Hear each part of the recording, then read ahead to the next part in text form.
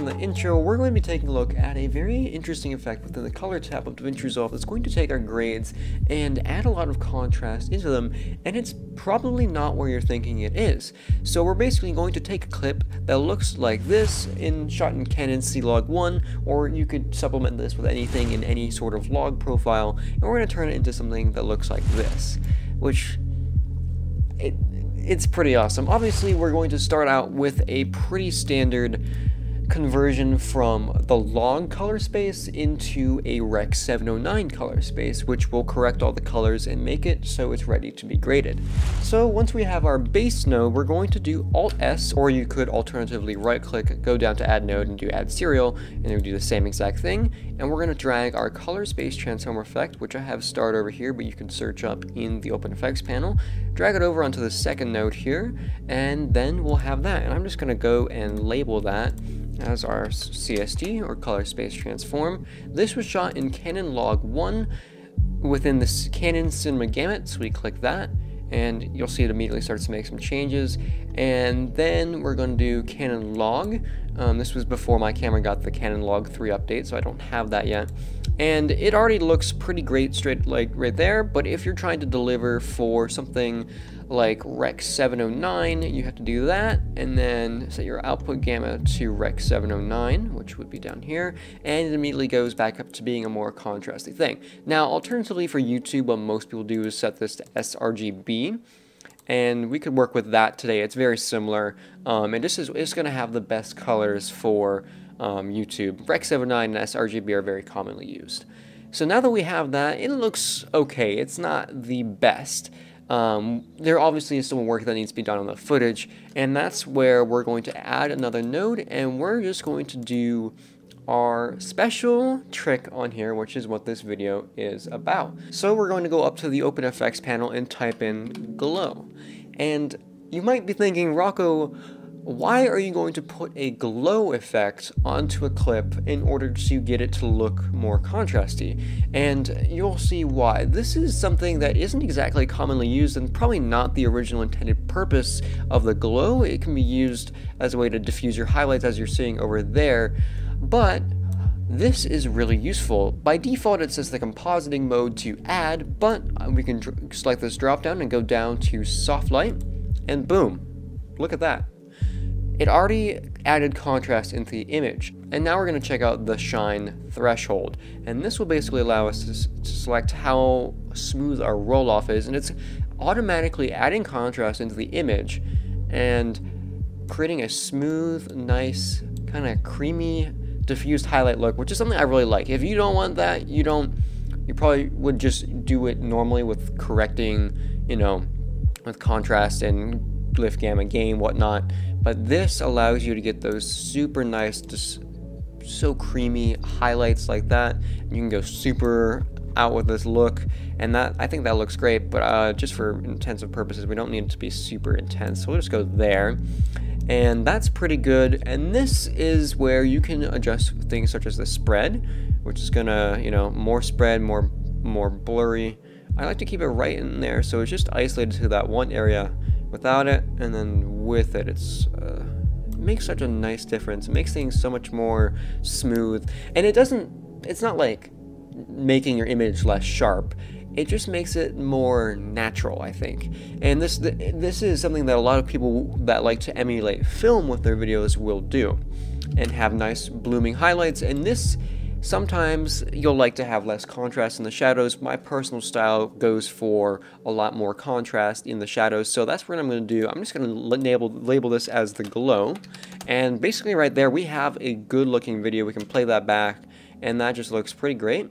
But obviously there's some things I'm going to add to that. It is a little shaky, so I'm going to go back over to the base here. You can do this on any node.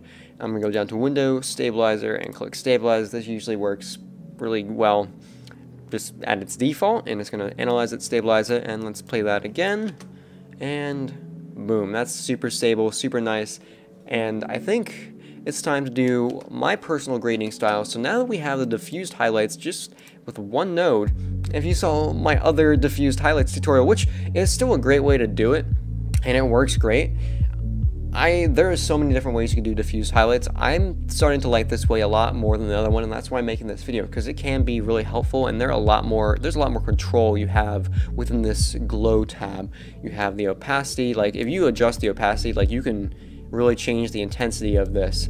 Um, but I like to keep that somewhere around 0.5 right there. That's pretty good. And you can adjust brightness, whatnot. All these amazing controls. You have such good control over it. So it's like the more advanced version of diffused highlights, but this, by selecting the soft light composite mode, it would add more contrast into the image. So that's the effect before, very flat, lacking contrast, and then after, look at that. It looks so good. And then you can obviously do a bit more like that. Actually, that's probably good. Right there to there. That's awesome. That's pretty much perfect. And now a lot of you have asked to see what my grading process is. So I'm going to create a new node and just do grade. That's where I'm going to do all my adjustments. And we're going to start there. And I'm going to show you guys how I grade one of my clips. So let's go back over to the grade. And personally, I think since it's shot in the rain, it needs to be a bit more moody. So what I like to do is head over to my um, wheels, which is lift, gamma, and gain. I'm going to drop down the lift a little bit to give it a bit more contrast. And you can see over here in the um, waveform, I want to have the darkest parts of the image sitting at zero, and it looks like we are getting that down in here, you can see. Nice contrast. I'm going to add a bit more contrast, and that's going to give us a bit more, maybe lift up the gamma a little bit. And it's really just small adjustments that I like to do here like that, that's good. I like to cool off the shadows a little bit by going into the curves, selecting just the red channel, and then going to add default anchors. That'll create some default anchors for us. And by taking away red from the shadows here, it's gonna cool down. You see that's like a lot, that's a lot of it. But if we do just a little bit right there, that looks really good. And then of course what I want to do is I want to make sure that the darkest parts of the image are completely black. So I'm to, and the brightest parts of the image will be completely white as well. You don't have to do this, but this is just what I like to do. And that ruins the image, so we got to drag this over and make it just the darkest parts, because we still want to have that cooled off effect, but still have, like, it's, it's more cooled off, but it is still dark and hitting complete pitch black pixels in here. So the next thing I'm going to do is go over into the hue versus hue tab, and this is where I'm going to take my colors and adjust them. And uh, if you know anything about me, I like to go for a slightly more um, green look, like a deep green. So if you see here, I'm dragging this down and it, it this like, that's, oh, that's purple now. But if you go just a little bit down, slight minor adjustments, I'm going to drag this over here too. So the yellows are affected too. I want it to kind of be a uniform sort of green there.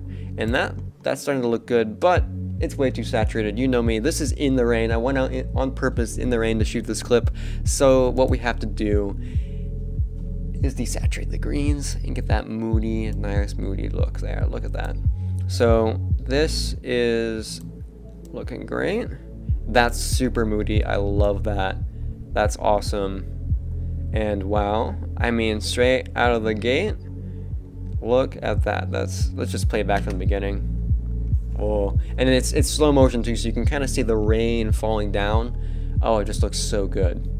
But yeah, and that is how I use the glow effect to add a bit more contrast into my image and also provide a smooth roll off on the highlights. And if we just took out the glow from this equation, like I'm disabling the glow and it's just my grade and the color space transform, it's like, wow. It's something, you don't have to do it this way, you could adjust it other ways, but it's super simple and it adds so much to the clip.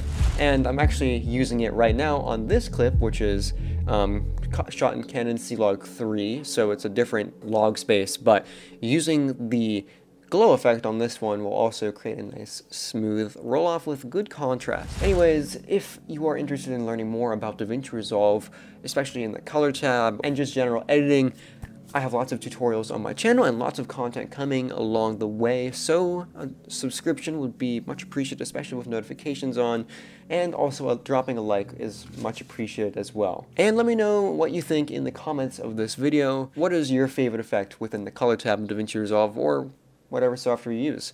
And uh, thank you for watching, especially to the end. I'm Rocco Germani, and I will see you all in the next video. Peace!